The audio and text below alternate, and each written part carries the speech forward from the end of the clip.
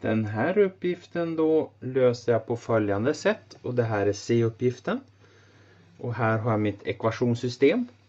Jag ser att jag har minus x här och jag ser att jag har minus x här så det är frestande att flytta över xen på andra sidan.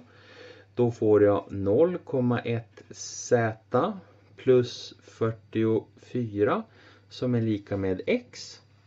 Sedan får jag att 0,08 z plus 50 är lika med x. Sedan använder jag substitutionsmetoden eftersom att jag vet att x är det här och x är det där. Då måste de här två vara lika mycket.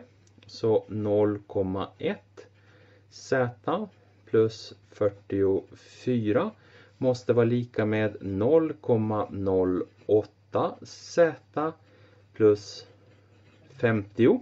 Sådär. Jag tar och ser var någonstans jag har flest z och det är på den sidan. Så jag tar och drar bort 0,08 z från båda sidor. Då får jag 0,02 z kvar.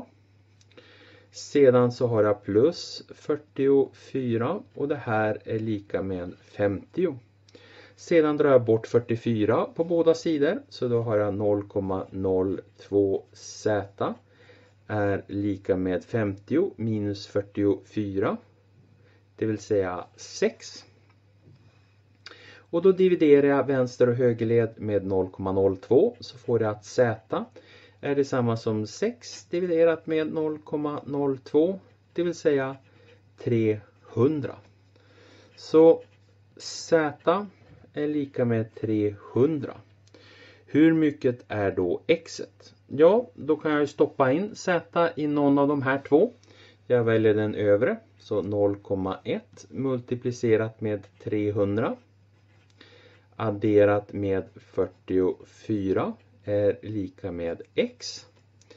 0,1 multiplicerat med 300 det är 30 plus 44 lika med x. 30 plus 44 det är 74 som är lika med x då. Så svar lösningen är x lika med 74 och z är lika med 300.